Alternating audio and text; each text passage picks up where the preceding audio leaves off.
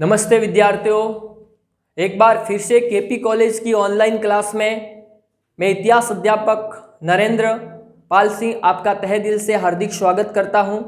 आज जो प्रकरण लेकर आपके सामने उपस्थित हुआ हूँ, वो बीए द्वितीय वर्ष का टॉपिक मुगल वंश के शासक बाबर के बारे में विस्तार से अध्ययन करेंगे बाबर का जो शासन है, वो 1530 ईस्वी से 1526 से लगाकर 1530 ईस्वी तक रहता है। इसका टाइम पीरियड है 1526 से 1530 ईस्वी तक, उसका टाइम पीरियड रहता है। भारत के अंतर्गत, भारत में ये बाबर दो जगह से शासन संचालित करता है, दिल्ली और आगरा से। अगर हम बाबर के बारे में कल हम अध्ययन कर चुके थे कि बाबर के प्रारंभिक जीवन के बारे में, आज हम बाबर के युद्धों के बारे में अध्ययन करेंगे कि बाबर का जो, बाबर जहरुद्दीन बाबर उसके बचपन का नाम था, उसका जो पहला युद्ध था वो पानीपत का प्रथम युद्ध, पानीपत का प्रथम युद्ध। पानीपत का जो ये प्रथम युद्ध है, ये वो 21 अप्रैल 1526 को लड़ा गया था। कितने? 21 अप्रैल 1526 को पानीपत का प्रथम युद्ध लड़ा गया। ये पानीपत है, वो हरियाणा में स्थित है। कहाँ पर है? हरियाणा। कहाँ पर? हरियाणा में। हरियाणा में है ये पानीपत। जो पानीपत के प्रथम युद्ध में बाबर को इब्राहिम लोदी के दो दुश्मन, आलम खां और दौलत खां लोदी बाबर को भारत में आने का निमंत्रण देते। कई बार ये प्रश्न आया है कि बाबर को भारत में आने का निमंत्रण किसने दिया था? तो वो थे आलम खां और दौलत खां लोदी ने। अभी बाबर भारत के अंतर्गत हरियाणा नामक स्थान पे आता है तो वहाँ आकर अपने मैदान को सजाता है और बाबर अपने साथ में पानीपत के प्रथम युद्ध में अपने दो तोपसी लेकर आए थे। तोपसी, उसका नाम था, एक का नाम था उस्ताद अली, क्या नाम था? उस्ताद अली। और दूसरे का नाम था मुस्तफ़ा अली, क्या नाम था? मुस्तफ़ा अली को दो तोपसी बाबर अपने साथ में लेकर आता है। बाबर पानीपत के मैदान के अंतर्गत आया, अपनी मैदान सजाता है, खाए, खुदवाता है तोप तोपों को लगवाता है और इधर वो बाबर राणा शांगा का इंतज़ार करता है। राणा शांगा ने उसे वसन दिया था कि जब तुम इब्राहिम लोदी के विरुद्ध आओगे, तब मैं तुम्हारी सहायता करूँगा। लेकिन राणा शांगा जब अपने दरबार के अंतर्गत जाता है और अपने दरबारियों से बात करता है कि एक बाहरी आक्रमणकारी आएगा, जिसका नाम है बाबर। वो इब्राहिम लोदी के विरुद्ध आएगा और इब्राहिम लोदी के विरुद्ध आएगा, तब हम उनकी सहायता करेंगे। इसके बदले में ये बाबर है, वो हमें एक बटा दो देगा। क्या देगा? एक बटा दो हमें देगा। तो राणा शांगा के दरबारियों ने कहा कि हम राणा शांगा जी, आप पागल हो गए क्या? हम, आप उसको एक बट्टा लेन, दे नहीं रहे वो एक बट्टा एक बट्टा दे नहीं रहा है वो ले रहा है हमसे। आप तो राणा शांगा, आप तो इब्राहिम लोदी को दो बार युद्ध में परास्त कर चुके, एक तो है 1517 में खातोली के युद्ध में और 1518 में बाड़ी धौलपुर के युद्ध में राणा इब्राहिम लोदी को दो बार परास्त कर चुके हैं। बाबर दो तीन दिन हुए बार बार इंतज़ार करता है कि राणा शंगा मेरी सहायता करने के लिए आएगा, फिर भी बाबर ने कहा, कोई बात नहीं। बाबर इसी समय दिल्ली का शासक इब्राहिम लोदी, फिक्स 21 अप्रैल को इब्राहिम लोदी अपनी विशाल सेना के साथ में पानीपत के मैदान में आता है। कितने विशाल सेना के साथ में 21 अप्रैल 1526 को। इब्राहिम लोदी की सेना में पाँच लाख सैनिक थे। कितने थे? पाँच लाख। पाँच लाख में से दो लाख हैं, वो सवार सैनिक थे और तीन लाख हैं, वो पैदल सैनिक थे। लेकिन बाबर के पास इतनी सेनाएँ नहीं थी। एक बार तो वो इब्राहिम लोदी की सेना को देखते हुए बाबर के सैनिक घबरा गए, लेकिन फिर भी बाबर और इब्राहिम लोदी के मध्य पानीपत का भयंकर युद्ध 21 अप्रैल 1526 को लड़ा गया, जिसमें बाबर की विजय हुई और इब्राहिम लोदी को पराजय का सामना करना पड़ा। इब्राहिम लोदी की क्या हुई? पराजय हुई। सल्तनत कालीन इतिहास में एक पहला सुल्तान था, जो युद्ध भूमि में लड़ते हुए मारा गया था। वो था इब्राहिम लोदी। कई बार कंपटीशन की एग्ज़ाम के अंतर्गत ये प्रश्न पूछा गया है कि उस सुल्तान, सल्तनत कालीन उस सुल्तान का नाम बताओ, जो युद्ध भूमि में युद्ध करते हुए मारा गया था। वो था इब्राहिम लोदी की पराजय हुई। इस पराजय का जो प्रमुख कारण था इब्राहिम लोदी का, क्योंकि बाबर के पास में अथा तोप खाना था। तो इब्राहिम लोदी के जो सवार, जो सैनिक घोड़े हाथी इब्राहिम लोदी की सेना के अंतर्गत थे, जिन्होंने पहली बार तोपों की आवाज़ सुनी थी और तोपों की आवाज़ सुनते ही इब्राहिम लोदी की सेना में भगदड़ मच गई और उनके ये जो हाथी घोड़े हैं, उनके खुद के सैनिकों ही कोई कुचलने लगे, ये उसका प्रमुख कारण था। इब्राहिम लोदी की हार हो जाने के बाद भारत में मुगल वंश की स्थापना हो गई 1526 में। अगर आपका प्रश्न आ जाए कि मुगल वंश की की स्थापना कब हुई, किस युद्ध में, पानीपत के युद्ध के बाद में, और मुगल वंश की वास्तविक स्थापना किस युद्ध के बारे में, बाद में हुई, वो थी खानवा के युद्ध के बाद में। इब्राहिम लोदी को हराने के बाद ये बाबर है वो काबुल में सोने के सिक्के बांटता है लोगों को। क्या बांटता है? काबुल में चा, सोने व चांदी के सिक्के बांटता है सोने चांदी के सिक्के बना बांटता है इसलिए इतिहास में उसको कलेंदर के नाम से जाना जाता है किसको? बाबर को। चांदी के सिक्के बांटता है। काबुल में चांदी के सिक्के लोगों को बांटता है। पानीपत के प्रथम युद्ध में इसलिए उसको इतिहास में कलंदर का नाम से जाना जाता है किसको? बाबर को। पानीपत के प्रथम युद्ध के बाद में बाबर को अपने ऊपर इतना घमंड आ जाता है कि अब मुझे कोई नहीं हरा सकता है। लेकिन फिर वो दृष्टि डाल के पानीपत के युद्ध के बाद में बाबर की नज़रें उस मेवाड़ के शासक राणा सांगा की तरफ़ हैं और राणा सांगा को वो परास्त करके संपूर्ण हिंदुस्तान में अपना आधिपत्य स्थापित करना चाहता था। वो राणा सांगा से ऐसे तो आक्रमण कर नहीं सकता तो उसको बहाना बनाना था तो वो राणा सांगा पर वसन भंग करने का आरोप लगाता है कि तूने हमें पानीपत के प्रथम युद्ध में वसन दिया था कि जब आप आक्रमण करने के लिए आएँगे तो हम आपकी सहायता करेंगे, लेकिन आप सहायता करने के लिए नहीं आए तो बाबर ने राणा शांगा पर वसन भंग करने का आरोप लगाया। राणा शांगा, बाबर,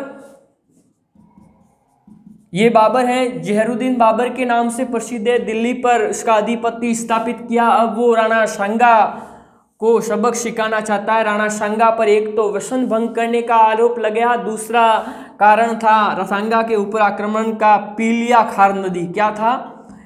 पीलिया खार नदी, जिस पर राणा सांगा ने 1519 में मालवा पर आक्रमण करके इस पर अपना आधिपत्य स्थापित किया था। बाब, बाबर है वो पीलिया खार नदी को प्राप्त करना चाहता था।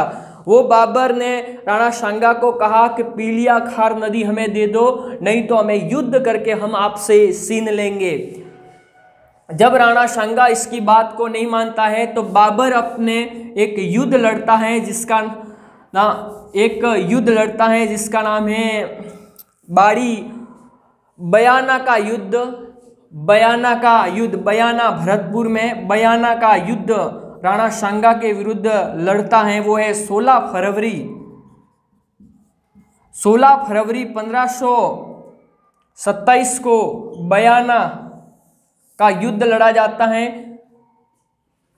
राणा शांगा के बयाना का युद्ध 16 फरवरी 1527 को बाबर और राणा शांगा के मध्य लड़ा गया, जिसमें बाबर की हार हुई, राणा सांगा की जीत हुई।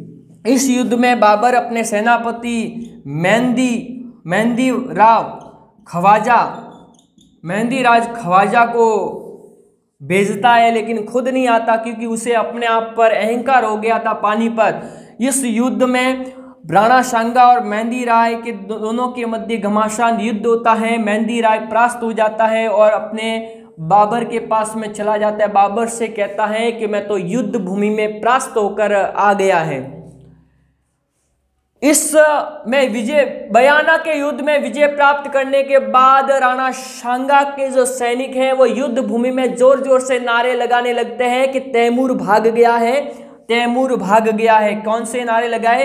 तैमूर भाग गया है युद्ध भूमि को छोड़कर, क्योंकि तैमूर बाबर हैं, वो तैमूर का पांचवा वंशज था। तैमूर भाग गया ज़ोर ज़ोर से नारे लगाने लगते और जश्न मनाने लगते हैं। कि बाबर नहीं भागा, उनके सैनिकों का कहना था कि स्वयं तैमूर भारत देश से हिंदुस्तान से भाग गया है। राणा सांगा जश्न में डूब गए थे। उसी समय बाबर ने पुनः पुनः युद्ध करने के लिए उसी समय वो तैयार हो गया और अच्छा अचानक बयाना से कुछ दूर एक खानवा है। बाबर अपने स्वयं इस बार सेना लेकर खुद आएगा और बाबर अपनी स्वयं सेना लेकर बयाना से कुछ दूर एक खानवा है। खानवा, वो भरतपुर ज़िले के अंतर्गत है। कहाँ पर है? भरतपुर ज़िले के रूपवास तहसील के अंतर्गत है। रूपवास तहसील के अंतर्गत ये खानवा नामक स्थान पर अपनी सेना लेकर आ जाता है। और वहाँ पर आने के बाद में अपनी सेना को, यानी अपनी सेना को सजाता है, वहाँ पर खाया खुदवाता है, कुछ तोप खाने लगवाता है और और अपने साथ में वो दो तोपसी लेकर आया था, एक का नाम था उस्ताद अली। और दूसरे का नाम था मुस्तफ़ा अली। क्या नाम था? मुस्तफ़ा अली। दो तोपसी भी अपने साथ में लेकर आया था खानवा। ये खानवा और इधर राणा शांगा। राणा शांगा और बाबर के मध्य खानवा का युद्ध है वो 17 मार्च 1527 को भरतपुर ज़िले के रूपवास तहसील के खानवा नामक स्थान पर लड़ा गया। इस युद्ध में बाबर की विजय हुई और राणा सांगा की हार हुई। ये खानवा एक ऐसा युद्ध था जिसमें सबसे पहले राणा सांगा के द्वारा पाती परवन प्रथा स्थापित पाती परवन व्यवस्था स्थापित की गई थी, जिसका मतलब होता है कि एक पहला अवसर था जिसमें सभी राजाओं को निमंत्रण दिया गया था।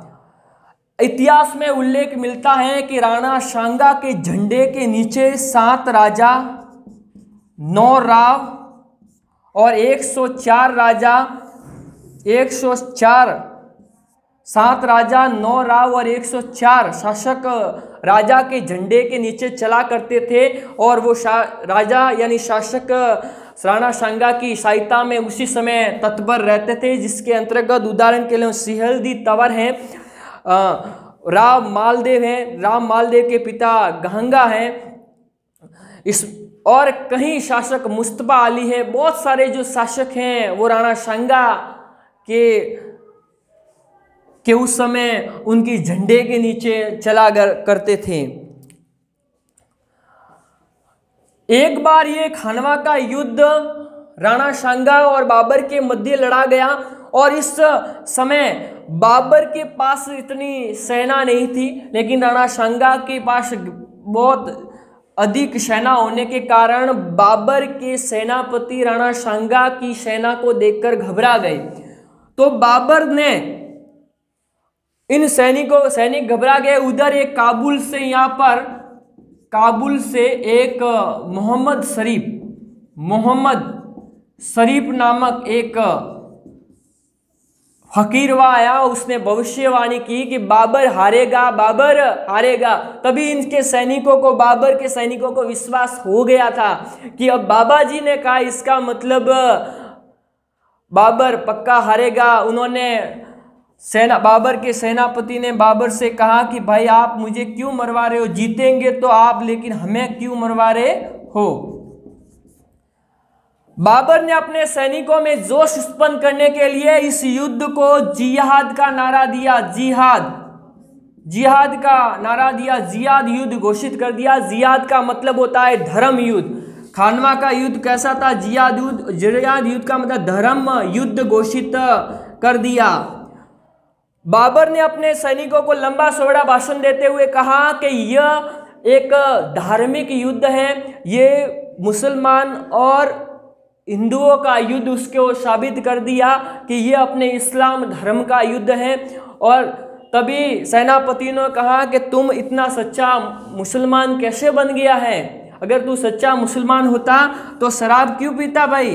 तो उन्होंने उसी समय शराब के सारे सांदी के बर्तन थे उस सैनिकों के सामने तुड़वा दिए और उन्होंने तुड़वा दिए, जिससे उसमें थोड़ा जोश उत्पन्न हुआ। जियाद का नारा देने के कारण इस सैनिकों में जोश उत्पन्न हुआ।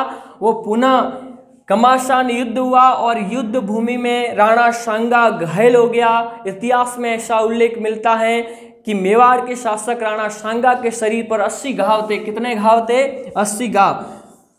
राणा शांगा जब खानवा के युद्ध में घायल हो जाते हैं तो झाला अज्जा उनका सेनापति था, झाला अज्जा वो उसका नेतृत्व करता है और राणा शांगा का जो मुकुट है वो खुद धारण करता है।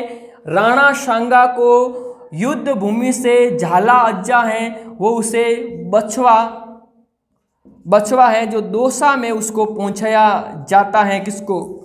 राणा शांगा को झाला अज्जा के द्वारा और उनका मुकुट धारण किया जाता है। बाबर के द्वारा झाला अज्जा का सर सिर से धड़क, धड़ अलग कर दिया जाता है। और जब राणा, जब बाबर के द्वारा झाला अज्जा का शीर देखा जाता है तो वो राणा शांगा न होकर एक झाला अज्जा का शीर हुआ करता है। तब उन्होंने कहा कि मुझे पता था कि ऐसा बहादुर शासक का धड़ इतने जल्दी तो अलग नहीं हो सकता है। उन्होंने जा इसके बाद में बाबर ने संपूर्ण राजपूतों के सर के, सर की उन्होंने एक मीनार लगवा दी खानवा युद्ध के बाद में।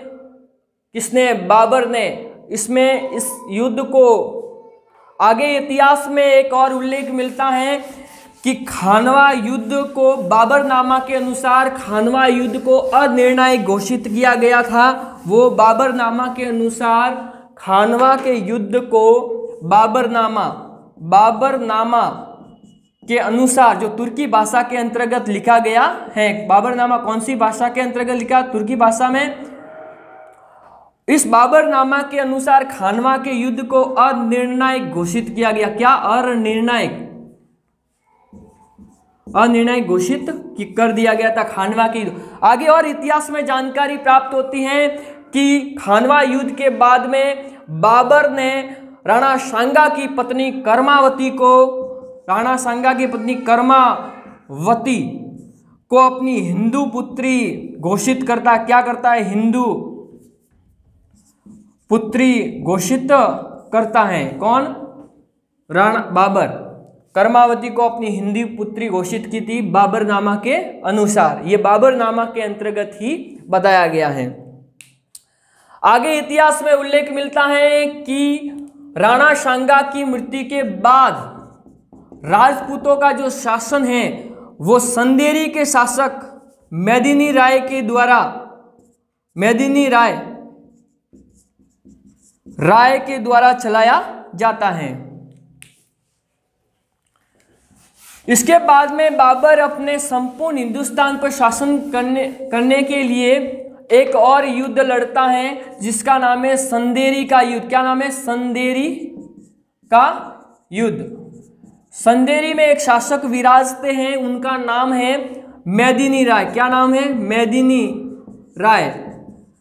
मैदिनी राय के विरुद्ध एक युद्ध होता है, जिसका नाम है संदेरी का बाबर, और मैदिनी राय के मध्य एक युद्ध लड़ा गया, जिसको इतिहास में संदेरी के युद्ध के नाम से जाना जाता है। संदेरी का युद्ध 29 जनवरी पंद्रह 28 को ऐतिहासिक युद्ध लड़ा गया और इस युद्ध को बाबर ने जियाद युद्ध घोषित कर दिया था। जिहाद युद्ध। जिहाद का मतलब होता है धर्म युद्ध। इस युद्ध में मैदिनी राय के सभी सैनिकों ने अपनी खुद की पत्नियों को सिर धड़ से अलग कर दिया था और उसका ढेर लगवा दिया था। इतिहास में ऐसी जानकारी प्राप्त होती है और इस युद्ध में मैदिनी राय प्राप्त होता है और बाबर की विजय होती है। क्या होती है? विजय। इसके बाद में ये बाबर एक और युद्ध लड़ता है, जो है इतिहास में घाघरा युद्ध के नाम से प्रसिद्ध है। कौन सा? घाघरा युद्ध। ये बाबर का एक अंतिम युद्ध था। घाघरा का युद्ध 6 मई पंद्रह को लड़ा गया था। यह युद्ध अफगान शासक अफगान शासक नुसरत शाह नुसरत शाह वो बाबर के मध्य लड़ा गया, जिसमें नुसरत शाह की पराजय हुई और बाबर की विजय हुई। इस दोनों कोई बाद में एक संधि यानी दोस्ती हो जाती है। घाघरा एक घाघरा नदी के तट पर ये युद्ध लड़ा गया था, इसलिए उसको घाघरा के युद्ध के नाम से जाना जाता है। ये अफगानों और बाबर के मध्य लड़ा गया था। घाघरा के युद्ध के अंतर्गत, घाघरा के युद्ध के अंतर्गत पे ये युद्ध एक ऐसा था, जिस, जो थल और जल दोनों पर लड़ा गया था। ऐसा कौन सा युद्ध है जो जल और थल दोनों स्थान पर लड़ा गया? वो घाघरा का युद्ध था छः मई पंद्रह को लड़ा गया था। घाघरा के युद्ध में हिंदुस्तान में सबसे पहले नावों का प्रयोग किया गया था।